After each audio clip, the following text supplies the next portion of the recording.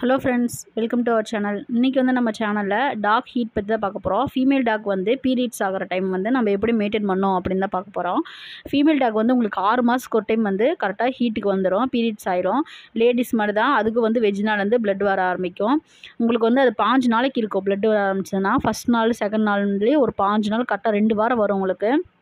நீங்கள் வந்து அந்த டாகை ப்ரீட் பண்ணுறேன்னு நினச்சிங்கன்னா பன்னெண்டாவது நாள் பதிமூணாவது நாள் வந்து எண்ணெய் சேர்த்தலாம். ஒவ்வொருத்தர் பார்த்திங்கன்னா வீட்டில் ஃபீமேல் டாக் பொட்டனாய் வச்சுருப்பாங்க. மேக்ஸிமம் வந்து பொட்டனாய் பார்த்திங்கன்னா இது கொஸ்டினம் எடுக்க மாட்டாங்க. ஏன்னா உங்களுக்கு அந்த டைம் வந்து வெளியே போய் வந்து மேட் ஆகிட்டு வந்துடும் ஸ்ட்ரீட் டாக்கோட அப்போ வந்து பார்க்குறது ரொம்ப கஷ்டமாக போயிடும் அதனால் வந்து நீங்கள் கருத்தடை பண்ணிக்கிறது ரொம்ப நல்லது. ஏன்னா கவர்மெண்ட்டே உங்களுக்கு ஃப்ரீயாக கருத்தடை பண்ணுவாங்க. அங்கே போய் வந்து ஃபீமேல் டாக் வந்து கொடுத்தீங்கன்னா அரை மணி நேரத்தில் ஆஃப் அன் ஹவர் ஒன் ஹவரில் உங்களுக்கு கருத்தடை பண்ணிடுவாங்க இப்போ எங்கள் டாக் ஹீட்டில் தான் இருக்குது போன மாதம் வந்து போன ஆறு மாதத்துக்கு முன்னாடி வந்து குட்டி போட்டுச்சு. கரெக்டாக குட்டி போட்டு ஆறு மாதத்தில் வந்து அடுத்து ஹீட் வந்துருச்சு. நாங்கள் வந்து மேட் பண்ணல. ஏன்னு பார்த்தீங்கன்னா மாதம் மாதம் வந்து நம்ம ஆறு மாதம் டைம் வந்து மேட் பண்ணக்கூடாது. அது வந்து ஹேரில் வந்து உங்களுக்கு ரொம்ப லாஸ் ஆக ஆரம்பிச்சிடும். டாக் வந்து ரொம்ப இழைச்சி போயிடும் அதனால் வந்து நம்ம கேப் விட்டு தான் பண்ணணும். நீங்கள் சப்போஸ் வந்து டாக் ப்ரீடு வச்சுருக்கீங்க அப்படின்னா ரெண்டு ஹீட் வந்து ஸ்கிப் பண்ணிடுங்க இல்லை ஒரு ஹீட் ஸ்கிப் பண்ணுங்கள் வந்து கேப் விட்டு பண்ணுங்கள் அப்போ தான் டாகும் ஹெல்த்தியாக இருக்கும். குட்டி வந்து உங்களுக்கு ஹெல்த்தியாக வராது அப்புறம். குட்டி வந்து உங்களுக்கு ரொம்ப வீக்காக தான் பிறக்கும். ஏன்னா அம்மா வீக்காக இருந்தால் குட்டி அதே மாதிரி வீக்காக தான் பிறக்கும்.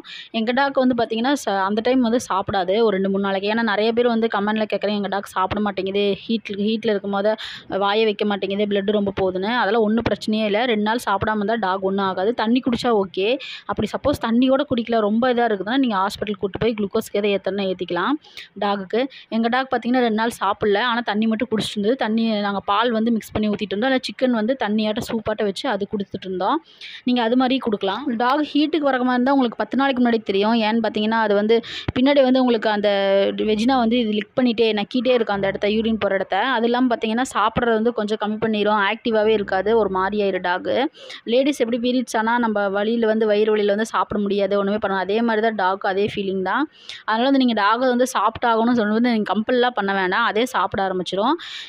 டாக் ஹீட்டுக்கு வந்தோடனே ஃபஸ்ட் நாள் வந்து நீங்கள் டிவம் பண்ணிடுங்க பூச்சி மாத்திரை கொடுத்துருங்க. அதுதான் முதல் அடுத்தது வந்து பார்த்தீங்கன்னா கூண்டு தனியாக நீங்கள் வச்சுருக்கீங்க. இல்லை வந்து உங்களுக்கு இடம் டாக் கட்டி வைக்க தனியாக இருக்குன்னா அங்கே கட்டியே வச்சுருங்க ரெண்டு வாரம்.